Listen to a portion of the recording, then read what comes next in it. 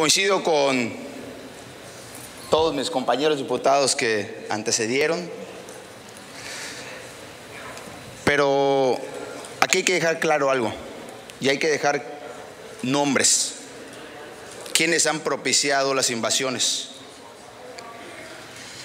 Se han hecho hoy en el municipio de Tulum invasiones, donde se ha demandado por la misma ciudadanía. Hoy vemos una grabación y todo donde el mismo, la misma mano derecha del señor gobernador, que es Miguel Ramón Martínez Sueta, que ha hecho las invasiones. Él las ha propiciado. O sea, no es un tema que tengamos que regularizar por la decimoquinta legislatura, sino es un tema que hay que castigar y hay que castigar con hechos. Si hoy vamos a meter una iniciativa donde querramos castigar, hay que castigar por los, y hay que decir nombres.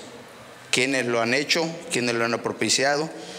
Y es un tema que hoy no podemos tapar el sol con un dedo. Sabemos quiénes las han hecho, lo han hecho en Playa del Carmen, lo han hecho en el municipio de Tulum.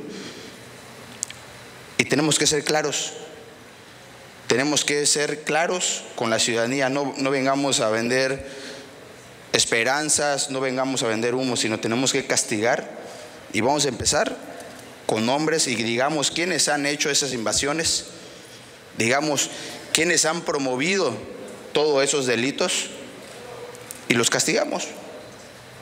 Y empezando con las personalidades que les comenté. ¿Es cuánto?